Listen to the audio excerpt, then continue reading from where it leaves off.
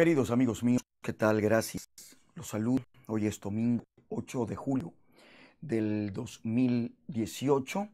Estoy saludándole con cariño desde la ciudad de Nueva York, con Columbus Circle. Detrás es la panorámica que traemos hoy para ustedes y que vamos a tener todos estos días que salgamos al aire dentro de este nuevo marco que hemos creado de estas transmisiones en vivo que vamos a realizar. Hoy quiero abordar con ustedes varios tópicos. Quiero saludarle primero a los compañeros que ya están ahí, Wanda Ferreiras, Nelson Pereira, Tony Paulino, Dana Torres, el hermano Vívar Almonte, Ángel Grullón y Jay Bautista, Victoria Love Sweets y Carolina Barcasel de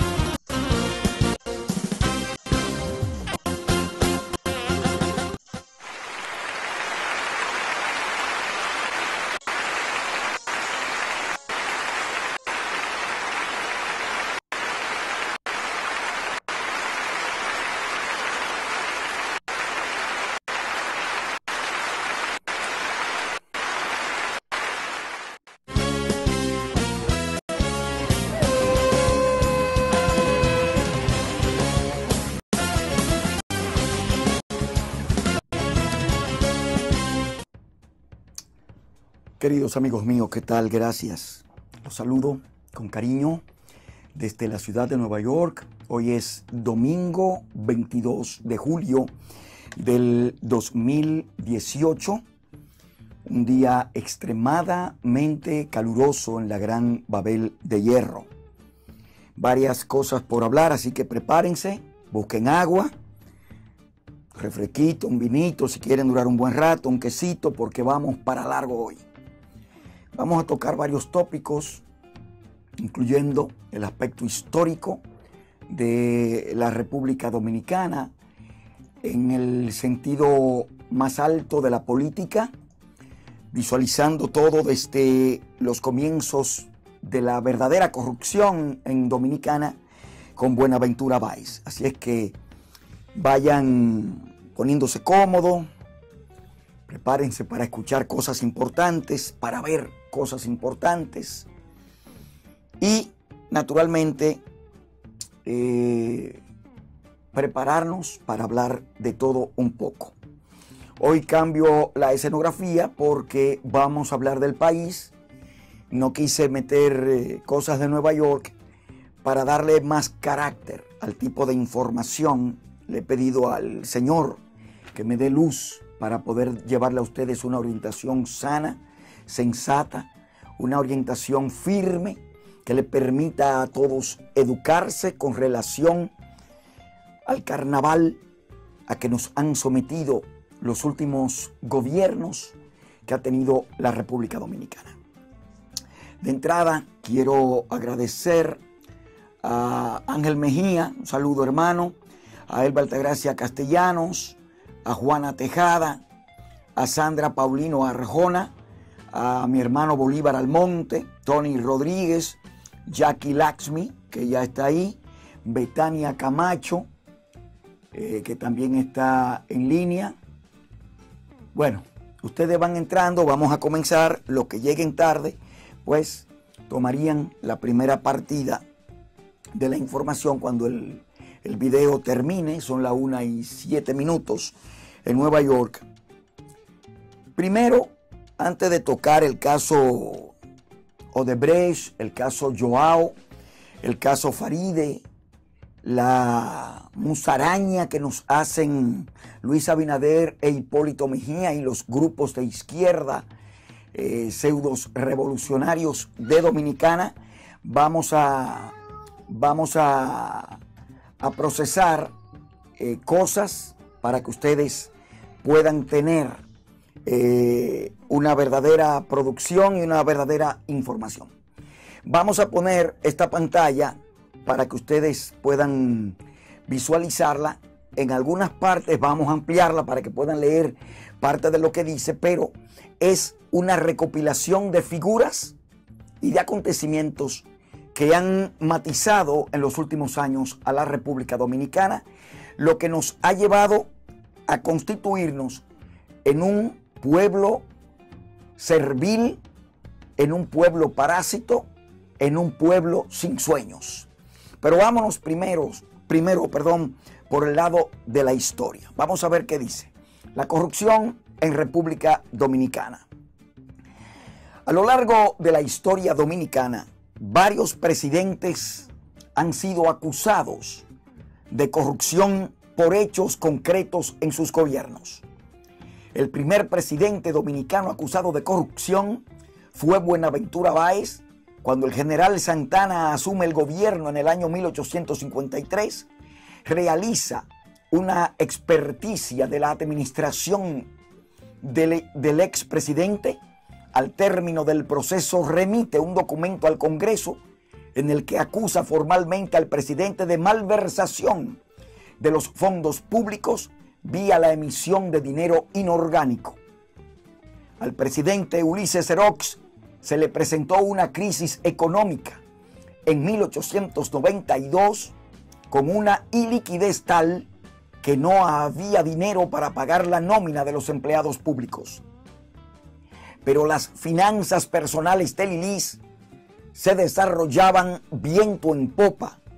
Era inversionista en varios negocios e industrias, entre ellos una fábrica de jabón accionista de la fábrica de fideos de Paul Rodríguez, accionista de la Sociedad Mercantil de Hamburg, de la Samaná Bike Company, de la Sociedad Mercantil de Sánchez, de la West India Public Works.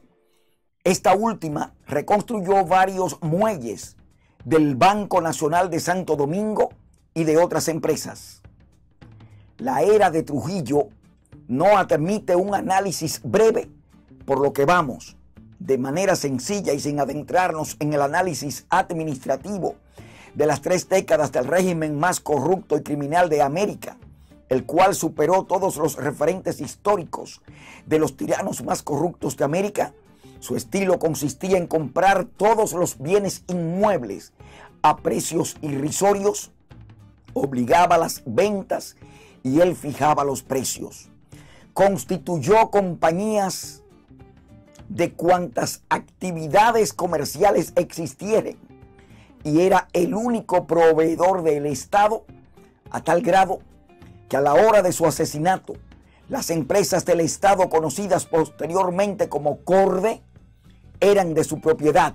Es decir, Trujillo era el dueño de un patrimonio tan enorme que todos los cálculos se quedarían hoy cortos la era de Joaquín Balaguer, muy interesante en esta materia.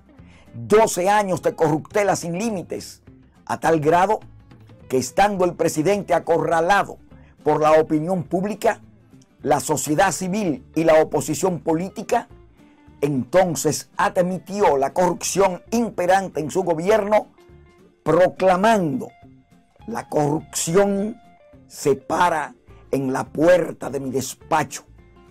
Nunca el presidente Balaguer negó la existencia de corrupción, sino su participación en ella. Esto lo recitaban los oradores políticos en cada mitin, como si fuese parte de los evangelios apócrifos que los cristianos conocen, pero no están obligados a leer. Balaguer llamaba indelicadezas administrativa cada vez que se descubría un robo en su gobierno. A las nuevas generaciones les parecerán anecdóticas estas expresiones. La oposición siempre predicaba como pecado capital que en el gobierno de Balaguer se hicieron 300 millonarios. Los gobiernos del PRD también dejaron sus rastros de corruptelas, muy a pesar de que el país esperaba políticas de transparencias administrativas. Siempre hay funcionarios que traicionan la confianza depositada. Recuerdo que el PLD publicó en el periódico Vanguardia del Pueblo, número 316, el famoso álbum de la corrupción, que paradójicamente es la historia de los hombres y los partidos. Hoy el país está gobernado por el PLD, que surgió como un referente ético en la política dominicana y en la actualidad se le cuestiona la era más corrupta de la historia dominicanista que se conoce. La Odebrecht en República Dominicana. En los siguientes párrafos sintetizaremos la historia de Odebrecht en República Dominicana.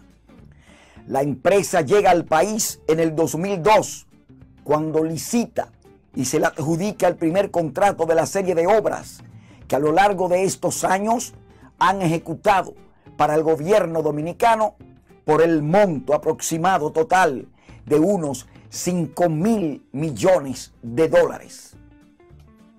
Esta primera adjudicación se produjo durante el gobierno del presidente Hipólito Mejía las cuales fueron terminadas por el gobierno que inicia el año 2004 del doctor Leonel Fernández Reina, en cuyo periodo se le hizo adendum para readecuar los costos de las obras. Los montos que se presentan son datos aproximados y públicos de costo de las obras. Por la obtención de estos contratos ha admitido la empresa haber pagado unos 92 millones de dólares en sobornos, aunque no queda claro si existen algunos que se excluyan y que hayan sido obtenidos por la vía legal e imparcial. Veamos cómo han jugado con la República Dominicana este grupo de bandidos incesos que tenemos a lo largo y ancho de América. Obras, periodo 2000-2004, presidente Hipólito Mejía, acueducto de la línea noroeste, 180 millones de dólares. Hidroeléctrica de Pinalito, 300 millones de dólares. Obras periodo 2004-2012, presidente Leonel Fernández Reina. Acueducto de Samaná, 115 millones de dólares. Hidroeléctrica Palomino, 225 millones de dólares. Carretera Casabito Constanza, 112 millones de dólares. Corredor Duarte primero, 163 millones de dólares. Autopista del Coral, 400 millones de dólares. Carretera El Río, Jarabacoa, 100 millones de dólares. Acueducto múltiple Hermanas Mirabal, 51,3 millones de dólares. Carretera Bávaro, Ubero, Alto Miches, Sabana de la Mar, 265 millones de dólares. Obras periodo 2012 actualidad. Presidente Danilo Medina Sánchez. Circunvalación de la Romana, 76 millones de dólares. Boulevard Turístico del Este, 110 millones de dólares. Corredor Duarte II, 250 millones de dólares. Ecovías o Circunvalación Norte de Santiago, 191 millones de dólares. Carretera Piedra Blanca Ocoa, 140 millones de dólares. Central Termoeléctrica Punta Catalina, 1.945 millones de dólares. En el mandato del presidente Leonel Fernández es la época que más contratos se han adjudicado a Odebrecht, aunque los montos más altos se han registrado durante el actual gobierno. La mayoría de los grandes proyectos de construcción han sido entregados a esta empresa desde el año 2002 a la fecha. El proyecto Punta Catalina consiste en la construcción de una central termoeléctrica con una capacidad de 720 megawatts, integrada por dos unidades de 360 megawatts cada una para la generación de energía a partir de la quema limpia de carbón mineral pulverizado. Las instalaciones de la planta constarán de una terminal de recepción de carbón para barcos autodescargantes de 800 mil toneladas, así como todas las instalaciones de apoyo, como patio y correas transportadoras cubiertas para el almacenaje y transporte del carbón, sistema de descarga de refrigeración de tratamiento de agua y una subestación eléctrica. Estamos hablando del carbón. Recuérdense que ya nadie usa carbón para la electricidad. ¿eh? Y en la República Dominicana, 1.945 millones para una planta a carbón. El caso de Punta Catalina es un ejemplo vergonzoso de las prácticas poco éticas. Se trata, pues,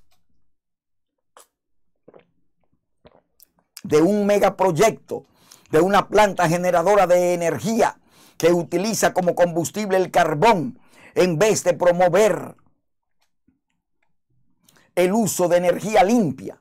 Hemos dado un retroceso en favor de utilizar como materia prima un combustible altamente contaminante que contribuye ampliamente al calentamiento global en directa contradicción con la postura asumida por el país al acogerse al protocolo de Kioto y comprometerse a la baja de emisiones contaminantes y gases que propician efecto dañino. Por otro lado, según el representante del consorcio INPET, quien asociado con China Joe Grove Company, empresa que construyó la famosa presa de las tres gargantas, establecieron cuando se adjudicó el proyecto que su oferta rondaba los 900 millones, lo cual implicaría una potencial sobrevaluación del proyecto por parte de Odebrecht en unos 1.045 millones de dólares. Este consorcio presentó un recurso contra la licitación ante el Tribunal Superior Administrativo, el cual fue rechazado por la Suprema Corte de Justicia. El monto final contratado fue de 2.040 millones de dólares, pero con el compromiso de ejecutar el proyecto en los 1.945 millones de dólares antes mencionados. Actualmente, el monto de inversión, los dólares 1.300 millones y aún las plantas no están terminadas, ni hay asomo de que se terminen. Actualmente una comisión designada por el Poder Ejecutivo está investigando la licitación de Punta Catalina. Una comisión que favorece ampliamente al gobierno de Medina porque son algunos asalariados y otros favorecidos, pero son parte de esas comisiones, comisiones, comisiones que se integran para nada, solo para beber aguardiente, vestir bien y robarse los dineros del pueblo con la firma del presidente de la República. Para fines de transparentar esta comisión, la operación de Punta Catalina debió llamarse a una licitación para elegir la compañía que haga el peritaje desde la licitación hasta la ejecución del costo de la obra. ¿Qué debió hacer el presidente? Dar el buen ejemplo que se designara un fiscal especial sin militancia política, un referente de honestidad en la sociedad dominicana. Por ejemplo, don Negro Vera, que también es parte del gobierno, y comparecer como el primero de sus iguales con este ejemplo, obligar a los expresidentes Hipólito Mejía y Leonel Fernández que hicieran lo propio, deben hablar al país del tema y ponerse a la orden de una justicia independiente y sin máculas.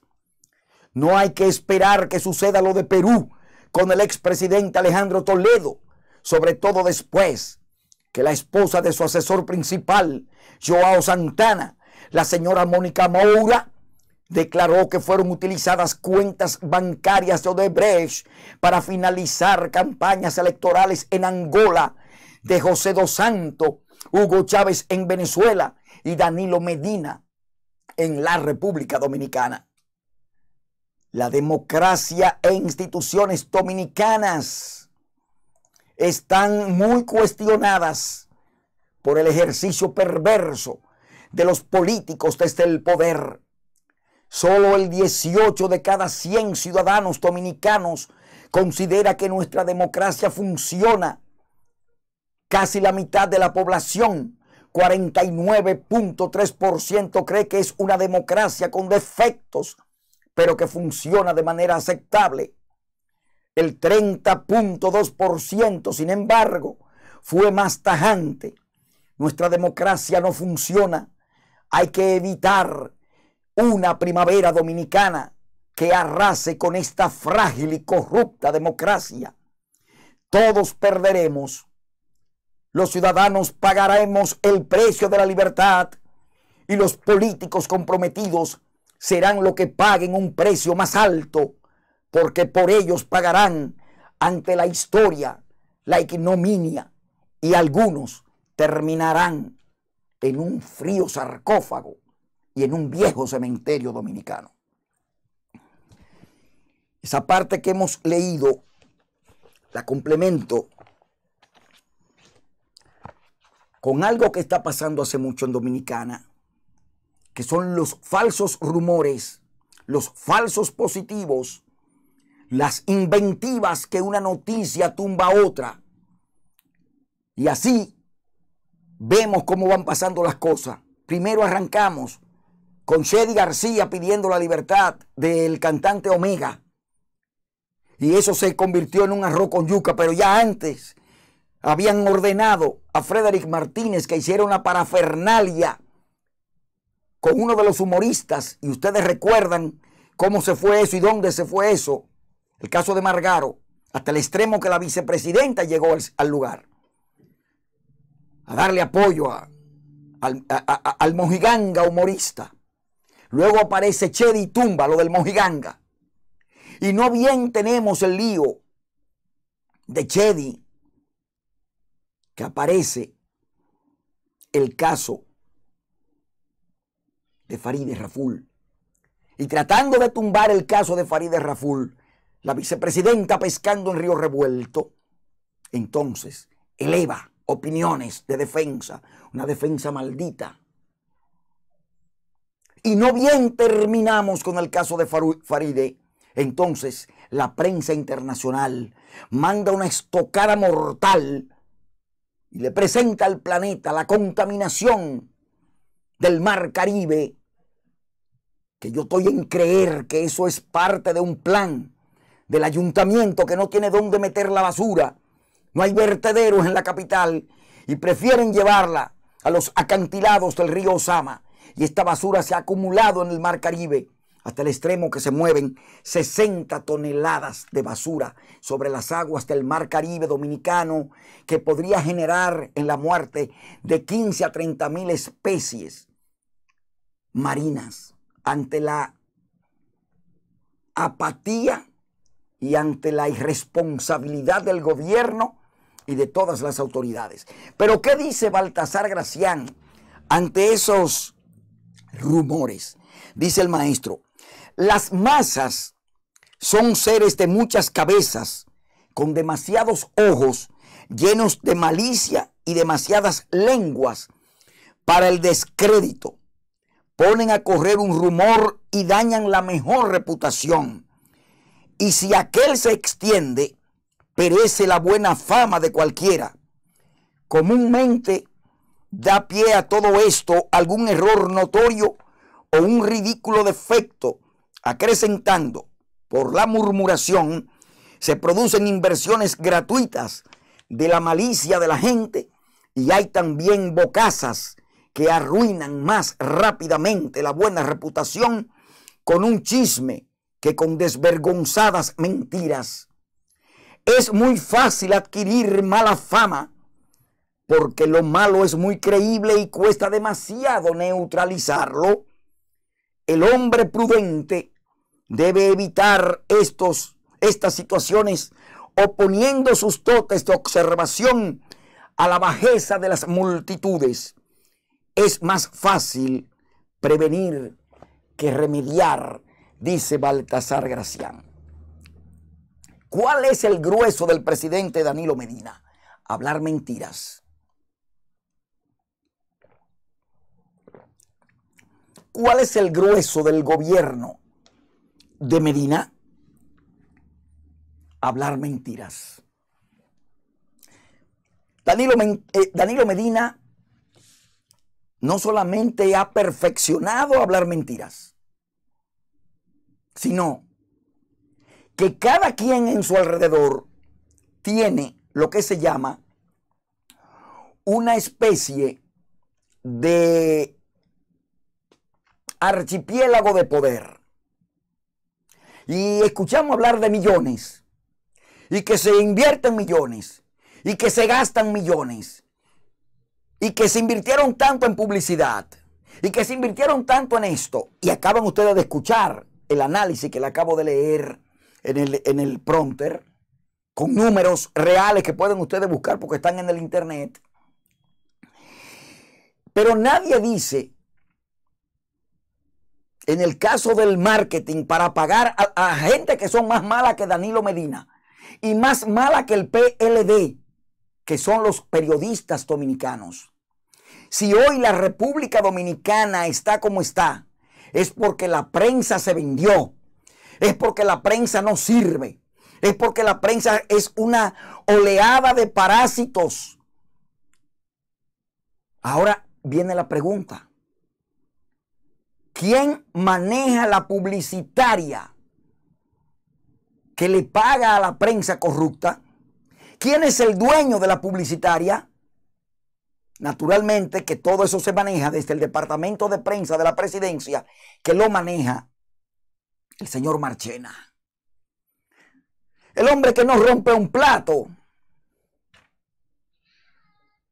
pero que nunca ha dado un informe de cuánto maneja el Departamento de Prensa y Relaciones Públicas del Palacio, que paga cientos de miles de pesos a cualquier viralata que se cree periodista porque tiene una página de internet. Y desde ese departamento de prensa de la presidencia que maneja Marchena, se maneja todo el entramado para embrutecer y crear los falsos rumores como lo que se, han eh, se, están proponiendo esta semana que comienza mañana lunes contra Farideh Raful. Farideh Raful, que ha quedado sola porque en este vendaval sin rumbo, Hipólito Mejía, Luis Abinader, Danilo Medina, Leonel Fernández, son ratas de la misma cueva. Se ponen de acuerdo para seguir lacerando el país y seguir haciéndole daño a una nación amorfa, una nación sin cabeza, una nación que se la robó el profesor Juan Bosch cuando hablaba de la dictadura con apoyo popular. Nos han entumecido el cerebro hablándonos mentira y negociando seis delincuentes de cuello blanco con un gran payaso en el camino que es Hipólito Mejía, que es el peor de los peores dentro de ese tablero corruptor y corrupto que hay en la República Dominicana. Danilo Medina perfecciona su estilo de mentir y los videos están ahí y los discursos están en el internet. Y si usted comienza con Danilo Medina en San Juan de la Maguana y termina en Moca en campaña, usted va a encontrar cantidad de información de mentiras sobre mentiras y el tipo no se inmuta hasta el extremo que ha sido capaz de comerse un tiburón, una ballena, una foca y un hipopótamo junto, porque el tipo es insaciable.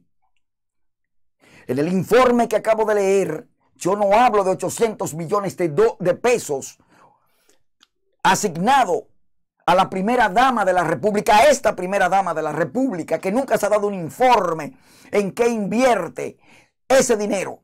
Pero no solamente eso, también han suprimido todas las páginas de transparencia para que no se le arquee la información, porque se robaron el país ellos seis. Danilo, Leonel, Hipólito, Abinader. O sea, ese grupo confabulado para hacer daño, hablar mentiras e inventar como ya no pueden coger más prestado, andan buscando por la China. Y el último acuerdo se acaba de firmar la semana que termina hoy domingo 22 con Marruecos. Y yo lo invito a ustedes a que lean la historia delincuentil de Marruecos. O sea, aparte de que vamos a meter los chinos a Dominicana con una cantidad enorme de mañas, comenzando por el arroz plástico y el pescado plástico, Ahora vamos a perfeccionar la manera de delinquir con el acuerdo con Marruecos. ¿Qué sucede en el caso de la camarada Faride Raful? Faride, que la han querido vender como un non plus ultra de la política, no es honesta tampoco. Porque Faride busca documento y lo presenta, pero no amplía la investigación hasta la última consecuencia.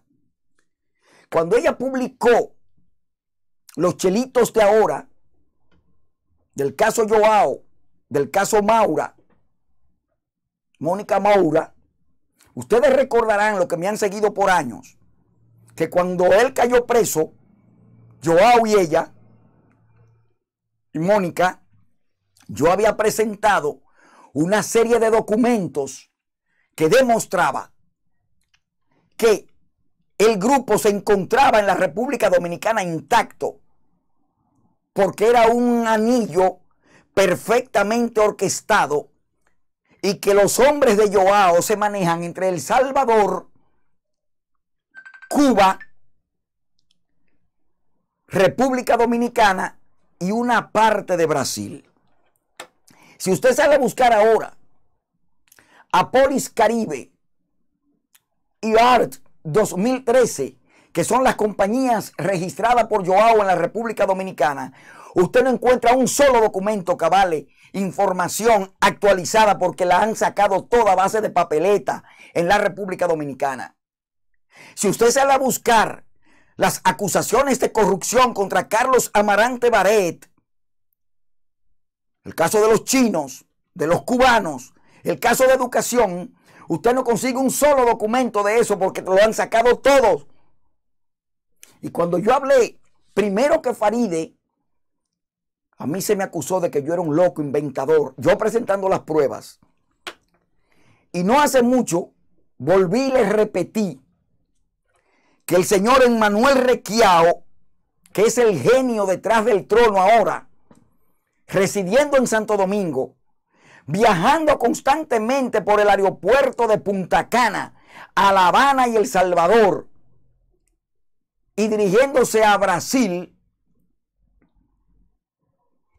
Emmanuel Requiao, que fue el primer esposo de Mónica Moura, junto con Alice Requiao, su hija, que es el cerebro matemático en la estructura de Joao Santana y Joao Ailet Hace de Sousa Santana, hijo de Joao, son los que forman la tríada que está manejando todo el proceso de campaña, no solo para la reelección de Danilo Medina, sino para todo lo que se mueve en materia de marketing del gobierno dominicano.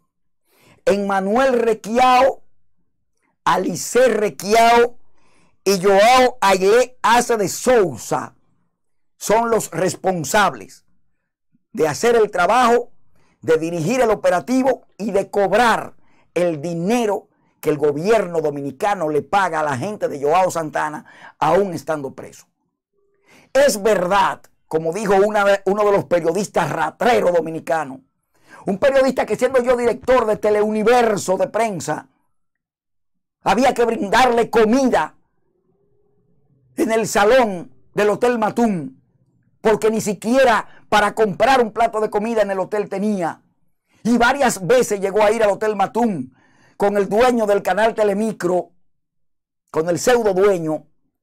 Y hoy, y ustedes han visto las imágenes ahí, se declara con millones de millones un viralata, un perrito viralata que quiere ahora descomponer la imagen de Farida y dice que se puede cobrar, que ellos pueden cobrar un estado preso. Sí se puede cobrar porque son una estructura legalmente constituida. Es como al que lo cancelan de un puesto y se queda el mismo grupo trabajando. Es que en Manuel Requiao, Alice, su hija, y Joao Ailet, el hijo de, de Joao Santana, son los cerebros creativos en lo que tiene que ver con el marketing visual Toda la campaña de la reelección de Danilo Medina está elaborado ya. Solamente están dando toques y esperando que Danilo diga ahora. Solamente eso se está esperando. Estos, estos farfulleros que ustedes están viendo haciendo campaña, comenzando por el, por el, eso mismo, lo que ustedes acaban de pensar. Carlos Amarante Baré, no es más que una mula que lo ponen a mover, a mover y a hablar. Para cuando Danilo diga ahora, entonces ese grupo va a retirarse para apoyar a Danilo Medina. Cuando Farides acaba de presentar el proyecto con miras a que se discutiera y se investigara la cuantiosa cantidad de dinero, se quiso acusar a Faride de conspiración. Pero resulta que Faride lo que ha recibido es una documentación que le da la Contraloría. El gobierno de Danilo no ha chocado con la Contraloría porque sabe que si choca iban a salir otros papeles. Es más fácil enfrentar a Faride y poner a José La Luz, que es un revolucionario media tinta, porque mientras se va a la radio y a la televisión a hablar de que él es un revolucionario, cuando Lionel que se le vio el refajo y los panties, Lionel, una puta sin brasieles, ordenó la semana que acaba de finalizar que se votara en contra de la investigación a Joao Santana y a la documentación. Ahí no se notó la división del PLD y quedó claro que ellos no están divididos. Es parte de un marketing, es parte de un procedimiento con el objetivo de vender una imagen de guerra de una guerra que no existe en el PLD porque son una sexta, porque son una logia. Una logia que la enseñó Juan Bosch. Yo le estoy presentando a ustedes ahí en, los flyers que están saliendo. Le estoy presentando que Juan Bosch permitió que los haitianos se entrenaran en la República Dominicana en el 63. Le estoy mostrando que Juan Bosch recibió dinero de, de la CIA le estoy demostrando que Juan Bosch cobró dinero con la mafia en Estados Unidos 20 días antes de ser depuesto en el gobierno. Y él sabía porque la misma noche que lo tumbaron, el profesor Juan Bosch, el más mediocre de los maestros y de los educadores dominicanos, sabía que esa misma noche lo iban a tumbar. Y los guardias que estaban comiendo con él en el, en el, en el club de oficiales se lo manifestaron y los periódicos están ahí. Y la revista ahora que registró un reportaje amplio de la época, 1963, reseña todo eso. Pero es una vaina que el dominicano todo lo discute, todo lo opina, pero nada lo investiga. Y ese es el mayor problema que nosotros tenemos. Emmanuel Requiao, Alice Requiao y Joao Ailet Ace de Sousa Santana residen en la República Dominicana, son protegidos por el gobierno dominicano, tienen todas las facilidades para salir por el aeropuerto de, de Punta Cana. Punta Cana, la otra república. Recuérdense de eso, porque Punta Cana es otra república. Y desde Punta Cana se hacen todas las diabluras a vida y por haber, porque es el mayor centro de lavado de activos. Es el mayor centro del, manejo del narcotráfico internacional. Punta Cana tiene más poder como paraíso fiscal que cualquier país del mundo que sea un paraíso fiscal. La mayor, el mayor soporte del trasiego de droga lo está haciendo la República Dominicana, un país pequeño que se ha convertido en un clavo en el zapato de la humanidad. Ustedes están viendo esas imágenes que están bajando ahí. Ahí van a ver subiendo también a Tony Isaconde. Y, y la presencia de Tony Isaconde en el gobierno es lo que hace que un Narciso Isaconde se quede callado. Porque todos están cogiendo dinero. Todos están favoreciendo del poder.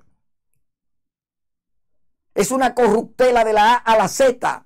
Y de la única manera que la República Dominicana se sana es con un terremoto, un tsunami y un temblor de tierra con ciclón que arrase con todo, porque nos convertimos en parásitos. Un país que no tiene sueños, un país que no sabe cuál es su derrotero, que no sabe luchar, una juventud que no sabe lo que quiere.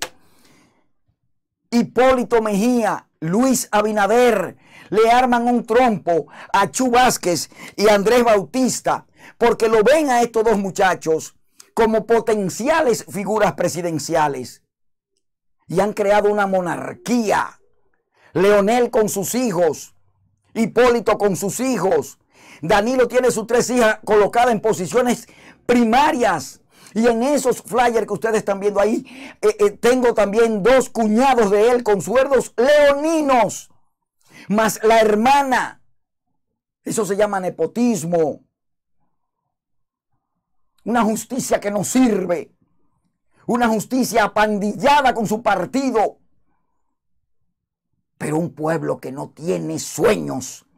Un pueblo que no piensa en futuro un pueblo que lo hipotecaron y lo perdieron. Malos dominicanos.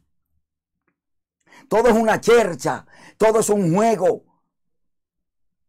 Uno le dice, repliquen, compartan. Y es tanto el miedo que hay que no son capaces siquiera de dar el paso. Quieren, quieren que la República Dominicana se libere en las redes sociales. Quieren que la República Dominicana se levante en las redes sociales una nación sin líderes. No hay un líder en el obispado. No hay un líder en el pastorado. No hay un líder en la cultura. No hay un líder en el periodismo. No hay un líder en la política. Juan Bosch es importante cuando estos ladrones del poder le da la gana. Peña Gómez es importante cuando el PRM y el PRD le da la gana. Balaguer es importante cuando a, la intelequia del Partido Reformista le da la gana. Pero tampoco hay un líder en el sector empresarial, en el sector magisterial, en el sector artístico. Es un país que perdió todo, todo absolutamente. Y lo que estamos exportando son ratas humanas y lo vemos en Nueva York. Y lo vemos en Canadá. Y lo vemos en España. Y lo vemos en Venezuela. Y lo vemos en Panamá.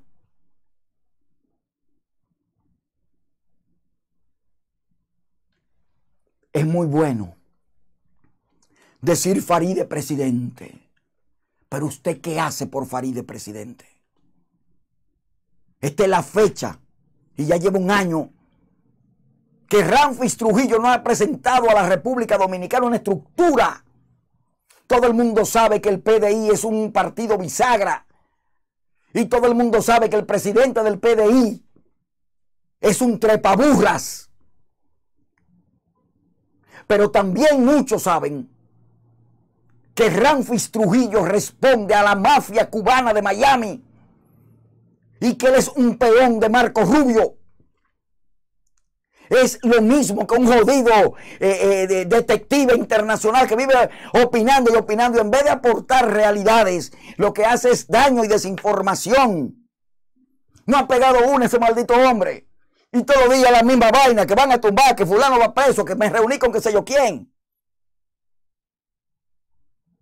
Vuelvo y le repito, más malo que el gobierno de Danilo son los periodistas dominicanos, porque perdieron la ética, perdieron el honor, perdieron el principio, y como son parásitos, contaminaron a 10 millones de dominicanos parasitados sin cerebro. Así no se llega. Así no se llega. Usted no puede discutirlo todo sin tener documentos en la mano, sin presentar como esa pantalla que ustedes están viendo ahí. Y cada material que ustedes están viendo en esa pantalla a mi lado, esa información la tengo concisa, que puedo mostrarla si se me llamare a la justicia. No todo el que tiene una página de internet es periodista. No todo el que escribe es periodista. Esta semana, el jueves para ser exacto, yo hice un tubo de ensayo y dije, hoy vamos a hablar de farándula. Y ya paradoja de la vida, mientras constantemente me entran 3, 4 mil y 5 mil personas diario, el jueves entraron más de 100 mil personas a ver basura, que fue lo que subí. Vaina que en nada nutre a la comunidad en nada nutre al colectivo. Esperando que nos manden dólares, que nos manden euros, que lleguen los turistas para engañarlos.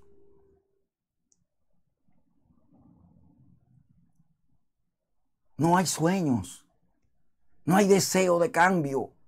¿De qué valió la jodida lucha? ¿De qué valió? ¿De qué valió la muerte de Camaño? ¿De qué valió la muerte de Homero Hernández?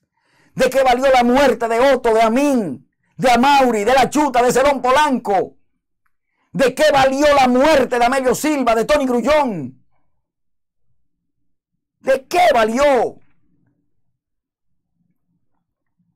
¿De qué valió la muerte de Sagrario Ercira Díaz? ¿De qué valió? ¿Para qué luchó Duarte, Sánchez, Mella, Luperón? ¿Para qué lucharon esos hombres? Juan Bosch, siendo honestos dominicanos, ¿cuál es el aporte a la sociedad que hizo Juan Bosch? ¿Cuál? Juan Bosch fue un parásito de Prío Socarrás. Juan Bosch tuvo problemas donde quiera que tuvo porque era un hombre mujeriego. Era un corrupto que no podía ver faldas. No han vendido a un Juan Bosch como un gran patriota y no han vendido a un Trujillo como un asesino. Dos historias totalmente distorsionadas. Danilo Medina cuando se, se, juramentó presidente la primera vez no fue a la tumba de Juan Bosch a hablar la primera gran mentira la habló ante la tumba de ese maldito viejo de mierda que debiera estar calcinado en el infierno.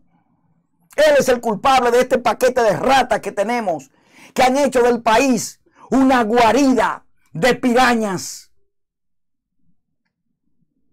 En el PRD que fundó Juan Bosch no aparece uno, ni siquiera Peña Gómez, que era otro corrupto también, que la vida de Peña Gómez profunda no se ha, no se ha averiguado. Peña Gómez, Leonel, Hipólito, Danilo, Juan Bosch, resentidos sociales, amargados de la vida, fracasados. Solamente han vivido del cuento cuando Danilo fue juramentado, le fue entregada la, documentación de esta última elección amañada en Dominicana. Ustedes ven el teatro que forma cuando se va a referir a Joao Santana como lo que es, como lo que es, una basura. Tipo que engaña a su pueblo. Tipo que trae frustraciones desde que estaba en el Pacoredo. Un hombre que traicionó a su propio partido. Pero un país que nadie investiga. Todo el mundo habla, pero nadie busca papeles. Todo el mundo anda en un maldito miedo. Yo no voy a replicar a Bolívar porque habla muy duro. Yo no puedo replicar a Bolívar porque después me, quitan el cheque. Pensando con el estómago, Señor, manda un maldito terremoto a ese país para ver si despiertan. No se puede seguir donde estamos. 10 millones de mojigangas vegetando, esperando que le lleven Se critica a los haitianos. Y si no fuera por los jodidos haitianos, la patria hace tiempo que tuviera hundida. Seamos honestos. Autoevaluémonos. Analicémonos. Fracasamos como nación. Fracasamos como sociedad. Nos perdimos como estructura. Gracias a Juan Bosch. Gracias a Balaguer. Gracias a Hipólito Mejía. Gracias a Leonel Fernández, a Salvador Jorge Blanco y a esta cosa que le pesa más en la lengua que los pies, que es Danilo Medina. Un país no puede crecer en esas condiciones. Se hacen escuela y a los tres días se decaen con un simple aguacerito. Un país que se ha embuido de chismografía, es más fácil ser un chismoso permanente que ser un trabajador en favor del país. Miles y miles de estudiantes que se han hecho profesionales y ninguno de ellos consiguen trabajo porque si son muchachas y son bonitas hay que darle la nalga al jefe. Y si son muchachos y son bonitos también tienen que acostarse o cogerse al jodido jefe. Porque es tanta la corruptela que hay que no hay respeto para nadie.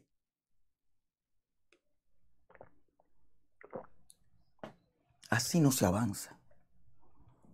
Así no se avanza. No se puede avanzar porque nosotros no pensamos en crecimiento.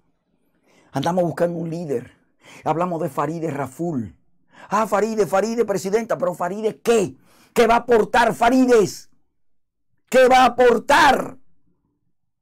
Faride es un líder juvenil porque no hay otra vaina en el país. La gente está tan desesperada que se agarra de lo que sea y lo está demostrando con Rafi Trujillo. Negroveras, que lo mencioné en, la primera parte. Todos hablamos de Negrovera, pero ¿cuál es el aporte de Negrovera al final? Si Negro ha sido un asesor del PLD. Narciso Isaconde, el chino Bujosa. ¿Dónde están esa maldita gente?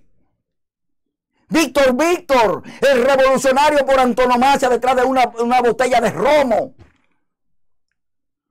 Johnny Ventura, Mili Quesada, Peña Suazo, el Pachá.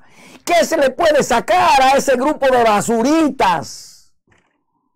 Porque están saliendo ahí en la pantalla.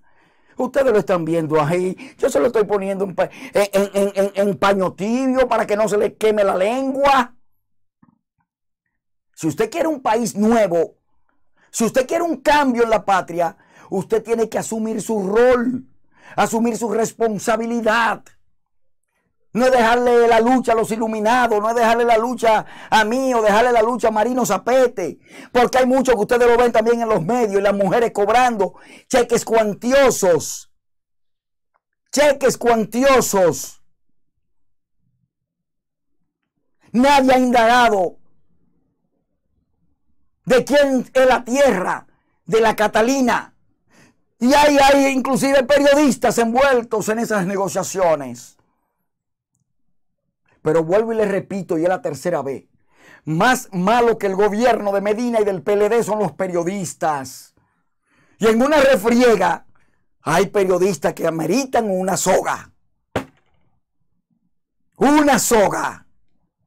Porque son malos porque no sirven.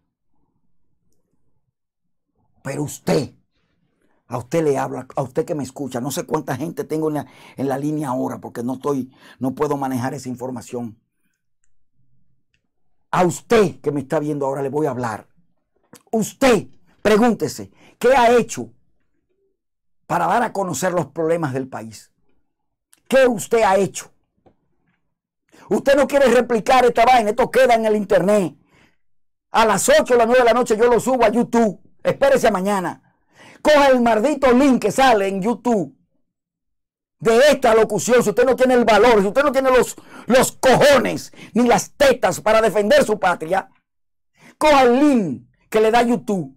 Coja su jodido teléfono y a toda la gente que usted tenga en su teléfono, mándele el link mío. Que algo se queda. Si no tiene el valor de enfrentar y decir, tenga el valor al menos de mandarle lo que uno habla, lo, que uno puede hablar aquí, que para muchos es sica lo que uno habla. Pero tenga el valor de mandárselo a alguien. Mira, escucha eso. Escucha eso. Y usted no se compromete. Usted no se compromete. Porque si en la República Dominicana se arma un quítate que te tumbo y hay un golpe de Estado, ¿no creen ustedes que van a estar suaves? Los guardias solamente entienden con las bayonetas y las culatas. Los gringos no van a dejar que se les siga engañando como se le ha engañado por años. El dominicano que crea que va en coche, si hay un quítate que te tumbo, la va a pasar mal. El país hay que recomponerlo. Desde las simientes educativas hasta las simientes eclesiásticas. Paquete de militares viejos que no quieren darle paso a los militares jóvenes preparados. Una mafia organizada. Una monarquía política. Un acorralamiento y un apandillamiento. Eso es lo que hay en el país. Son las 2 de la tarde. Lo voy a dejar aquí. Vamos a ver qué tenemos de este lado. ¿Cuántos de ustedes han entrado? Eh, a ver, pasemos esto acá. Vamos a concentrar un poquito. A ver qué tenemos aquí. Ah, tengo. A ver. Dice los iluminados, iluminados. Eh, Caridad Alfonso, gracias Caridad. Gustavo Andrés Raposo Pérez, gracias Gustavo. Jay Bautista, gracias Jay por estar ahí. Charol Olmos, eh, los iluminados, iluminados. Saludo, maestro Bolívar Balcácer, de tus seguidores, los iluminados, retransmitiendo desde Manhattan y el Bronx. Gracias, muchachos, muy amables. Esto es recíproco, este cariño. Y gracias por la forma como ustedes se están manejando.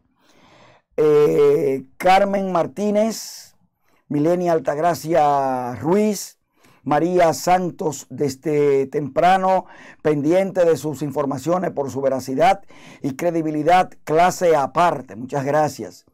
Papito Estrella, Ángel Grullón, Danilo Almanzar Acosta, Milenia Altagracia Ruiz, los políticos son todos unos ladrones que han saqueado el arca de la República Dominicana. Diony Morales, Jacqueline de Luna, Jacqueline de Luna, saludos maestro, bendiciones, gracias Jackie. César Núñez, Chiqui de Los Ángeles Ureña, Clara Caraballo, Elba Altagracia Castellano, Clarita, gracias amor, te he abandonado. Espero que te encuentres bien. El Altagracia Castellano, Carmen Martínez, maestro, los políticos dominicanos creen, se creen intocables, pero que se pongan a dormir de otro lado para que despierten de ese sueño, porque espero que pronto caigan todos, como está pasando en otros países. Mayra Rosado, Charol Olmos, eh, dando cátedras como siempre. Gracias, Clara. Eh, Nelly Ten, José Ramón Genao, eh, excelente trabajo, líder. Gracias, José. Martín Cabrera, Milenita Altagracia Ruiz, ya lo dije, los políticos son unos ladrones y mentirosos que lo único que han hecho es saquear el arca del país y la población dominicana vive solo en Juca y reggaetón en quien tiene más nalgas y tetas, etcétera. Eso es verdad. Una verdad indiscutible. El macho Pereira, eh, Diana Torres, eh, Martín Cabreja, saludo. El macho Pereira de nuevo. Eh, saludo y siempre con usted. Diana Torres desde Puerto Rico, nuestro país está lleno de ladrones. triste y vergonzoso ver a periodistas y comunicadores que en un momento nos inspiraban a estudiar esa carrera, hoy por un sueldito eh, mienten, se parcializan y lo peor, que siguen presentándose como serios. Para mí no son más que unos vulgares prostitutos, dice Carmen Martínez.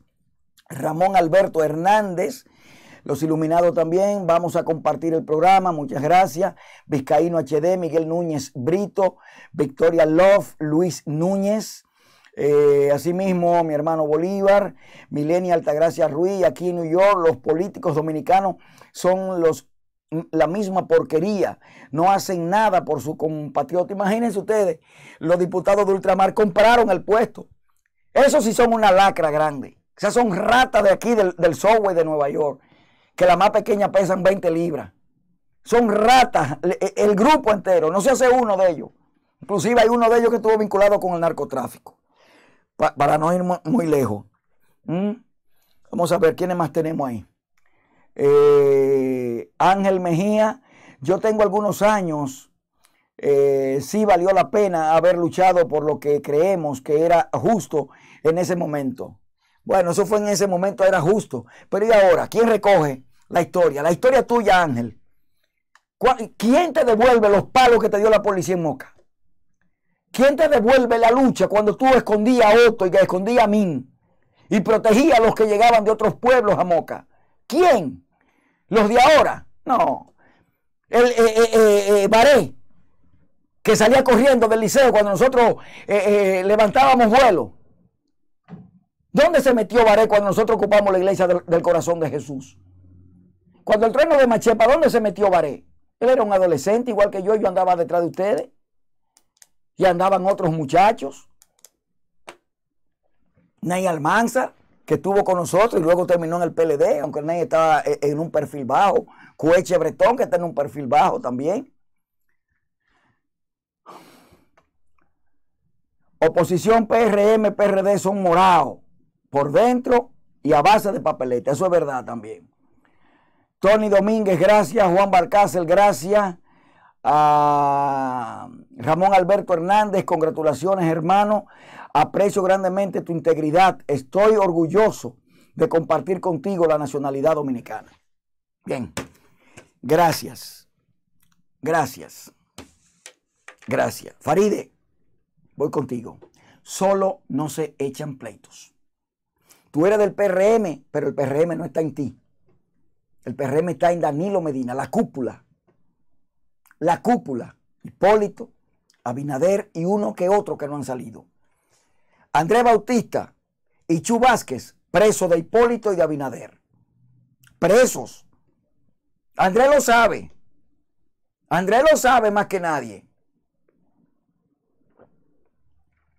Andrés Bautista sabe que Hipólito le guarda un as bajo la manga. Él lo sabe muy bien. Él lo sabe muy bien. Hipólito sabe también de Andrés. Y el presidente sabe que si Andrés Bautista da una orden, si cae preso ahora cuando venga el juicio y da una orden, muchos dominicanos van a morir por el estómago de inanición. Recuérdense quién produce los pollos. Recuérdense quién produce los cerdos, los plátanos. Uno de los hermanos de Andrés, y está en el periódico, dijo en Moca, que ellos producen medio millón de huevos diarios y que él apenas se come dos. Léanlo en entre líneas eso. Léanlo en entre líneas. El problema no es solamente el jabao. El problema es mayor. Y el país está quebrado. Con todo el dinero que se ha cogido, el país está quebrado. Y Danilo está secuestrado. Secuestrado por Montalvo y secuestrado por ese grupo que está dentro del palacio, Marchena y ese grupo. Y unos que otros militares, como el caso de la jodida estatua. Yo le presenté a ustedes nueve fotografías esta semana. Y de las nueve fotografías hay dos fotografías que me envió el Archivo Nacional de Venezuela. Fotos originales. Incluso una de las fotos, Duarte está con un traje que le prestó Simón Bolívar, de acuerdo al dato que se me envió. Y cuando usted mira la fotografía, y no es solamente la estatua de Duarte en la capital, ojo, hay cinco estatuas con la cara de, Danilo Medina en la República Dominicana. Cinco estatuas ya colocadas porque eso obedece a un plan, a un plan macabro. Desvirtuar la imagen de los héroes, desvirtuar la imagen de todo lo que sea eh, eh, eh, el crecimiento histórico. Porque Danilo es un descendiente directo de haitiano, criado por haitiano y piensa como haitiano. Eso no se ha dicho. Eso no se ha dicho. En el lío de Faride, ¿cuál es la postura de Hipólito? ¿Cuál es la postura de Abinader? ¿Cuál es la postura del senador de, de Puerto Plata? Cójanlo por ahí, por la línea. El curita, aquel, eh, el que estaba en el movimiento este de los verdes al principio, que quería ser presidente, el ex, el ex procurador de Lionel, que le renunció, no recuerdo el nombre, hasta eso se me ha olvidado. ¿Dónde está ese hombre? El que no quería que la, mierda de los pobres le, le llegara a la planta de los zapatos, porque lo ensuciaba, el elitista de la política dominicana. ¿Dónde está?